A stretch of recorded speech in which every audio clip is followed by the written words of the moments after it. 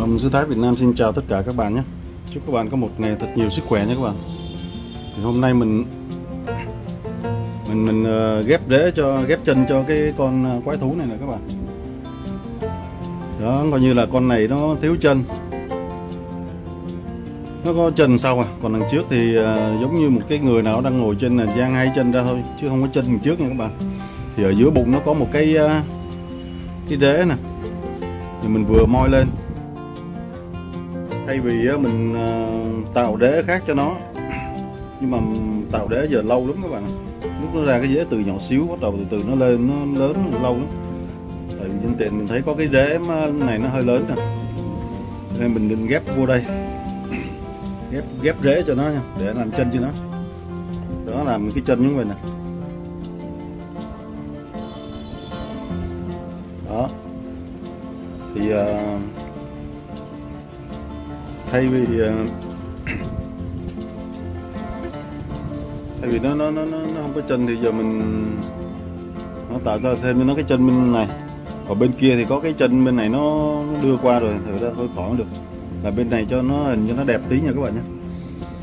Đó, thì bây giờ nhìn nó cũng giống như là bốn chân nữa.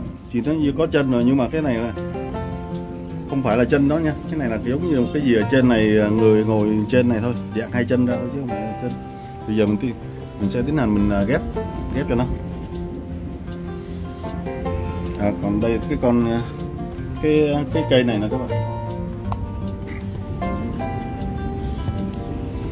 Đây cái cây này. Cây này là nó có ba chân nè. Cây này là cũng một cặp của của nó nha các bạn. Mình tách ra từ lâu rồi đó. Mà đây nó có ba chân này các bạn. Nó hai chân bên này với bên này có chân nè. Thì vừa rồi mình có tạo chân cho nó nè bây giờ nó ra rồi mà lâu lắm rồi các bạn bây giờ mình thử coi coi cái chân rễ nó tới đâu rồi cái này là cái này là mình uh, tạo chân cho nó đây. Nó thì giờ nó có cũng ra một cái rễ rồi nè các bạn. Đó cũng ra một cái rễ rồi. Nhưng mà còn nhỏ xíu à. Đó để nó thành một cái chân lớn như vậy hoặc là lớn như vậy thì lâu lắm nha các bạn nhé đó, cái này là mình cũng khoét cái lỗ nè. Nó khoét cái lỗ cho để nó khô xong bắt đầu mình lấp đất lại. Đó, để bắt đầu nó mới, từ từ nó ra rễ. Ra rễ mà giờ nó có một cái rễ rồi. Thì để từ từ thời gian nó sẽ sẽ sẽ lớn lên nha các bạn, mà lâu lắm nha các bạn. Thì đó. Thì con này là với lại ờ, cái con này là một cặp này các bạn. Chỉ nó một cây với một đó. Nó dính ở ngay chỗ này nè đó, cái đầu bên kia nó dính ở ngay đây thì mình có tách ra. Thì chỗ cái vết tách của nó nè. Mình lấy cái ly mình úp vào đây, mình cho chất trồng vô. Đó, bây giờ nó cũng ra rễ rồi. Để mình làm cái bộ râu cho nó đó các bạn. Đó, giờ rễ nó ra xuống tới dưới đây rồi. Mà giờ mình chưa tháo ra được. Tháo ra giờ nó mất câu để cho nó rễ nó ra dài đi, bắt đầu mình cho đây nó có bộ bộ râu nó nha các bạn nhé. Còn bây giờ mình thử tiến hành mình ghép cái cái cái cái này.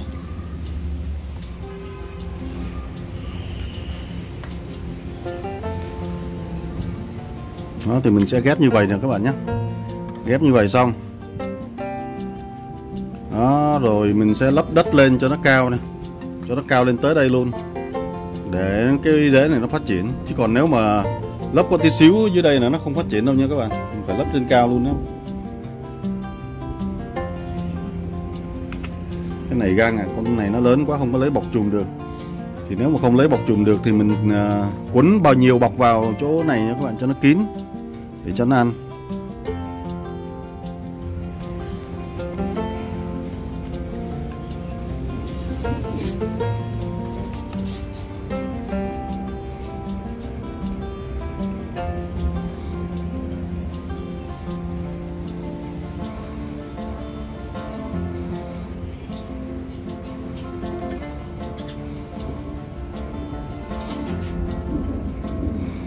Cái này muốn cho nó ăn là phải ờ, khoét cho nó vô tới cái lớp thịt của nó nha các bạn.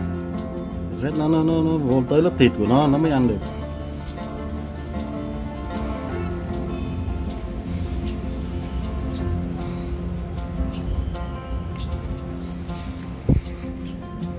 Đó, chỗ này thì bây giờ chỗ này thì mình cũng phải khoét phải lạng cái cái cái cái lớp da này đi nha là cái lớp da này đi nó mới hai cái nó áp vào nhau nó mới ăn cái vết ghép các bạn.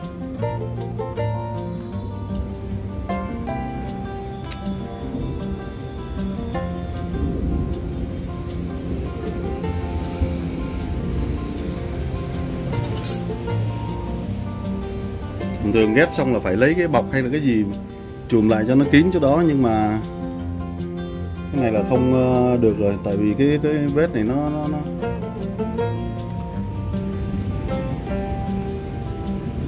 cái vết này không thể nào trùng bọc được. Cho nên mình uh, cuốn bọc thì mình cuốn cho thật là nhiều vào. Cái này hơi khó khó cuốn.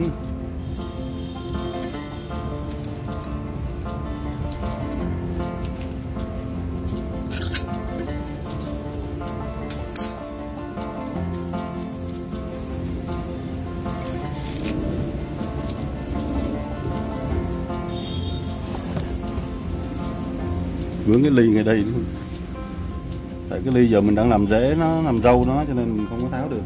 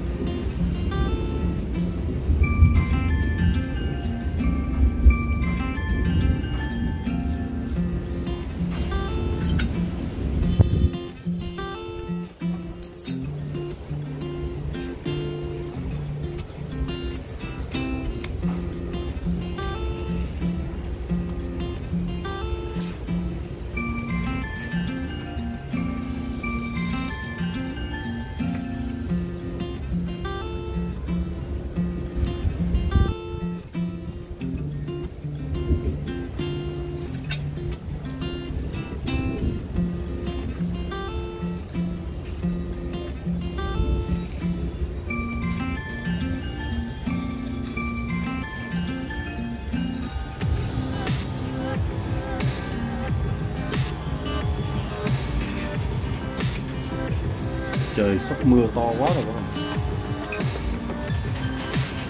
Đấy. mưa xuống là phải chạy rồi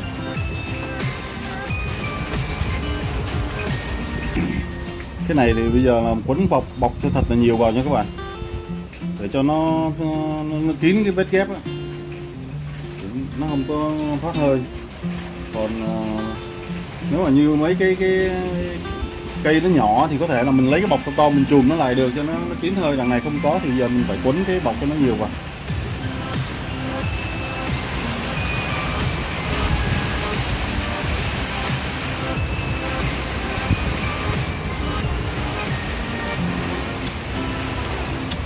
Thế trời mưa tới rồi các bạn ạ.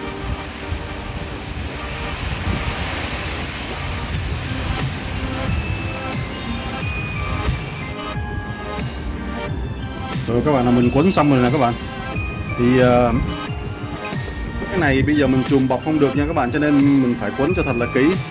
Cái này mình quấn kỹ lắm rồi các bạn. Quấn kỹ để cho nó nó bí các bạn nó thay vì mình chùm bọc để cho nó, nó kín hơi. Thì bây giờ mình chùm không được thì mình quấn kỹ để cho nó, nó, nó, nó đừng có bị khô nha các bạn nhé. Đó thì bây giờ là mình ờ, đây cái rễ của nó đây y đế này à, nó nó nằm trong này, nó đi ra nữa. Thì mình ghép đây. Có thể nếu mà mai mốt nó ăn á, thì mình cắt bỏ cái rễ trong này đi cũng được nha các bạn. Bây giờ mình phải trồng đất vô đây để cho nó phát triển rễ nha các bạn nhé bây giờ mình lấy cái miếng này. Đó, cái miếng này nè. Mình sẽ quay nó lại để mình à, bó đất đó các bạn. Cho đất vào trong.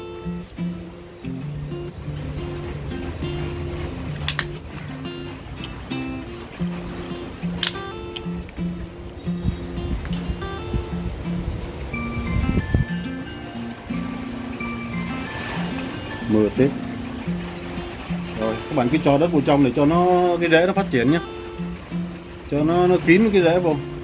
Thì cái rễ này nó mới phát triển lớn được.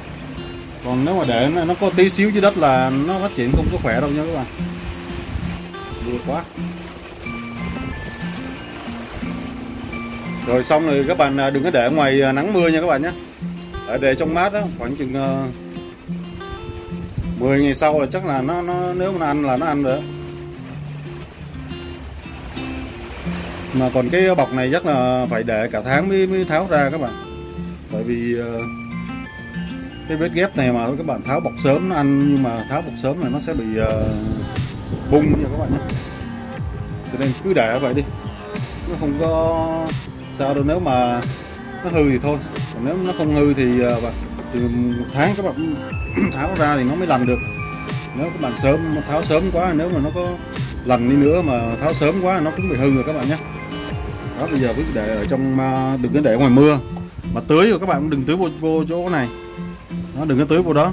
Khoảng 10 ngày sau thì rồi rồi, rồi, rồi, rồi cho nó ăn rồi bắt đầu mới tưới vô cũng được nha các bạn. Mà tốt hết cái đừng đừng có tưới vô đây đừng có để ngoài trời mưa. Để nắng thì được đừng để mưa. Tưới thì tưới gốc thôi. Rồi nay mình làm clip và mình uh, chia sẻ với các bạn là mình ghép uh, thêm uh, thêm chân cho nó nha các bạn nhé mình lấy cái rễ từ ở bụng nó nè. Mình đưa lên đây chỗ cái chân đó là mình ghép. Rồi mai mốt nếu nó thành công thì mình sẽ cắt bỏ cái rễ trong đi để cho nó có chân nha các bạn nhé. Rồi mình xin chào tất cả các bạn. Các bạn à, nhớ đăng ký à, kênh để ủng hộ mình nha các bạn nhé. Rồi mình uh, xin chúc các bạn có một ngày thật vui vẻ và thành công.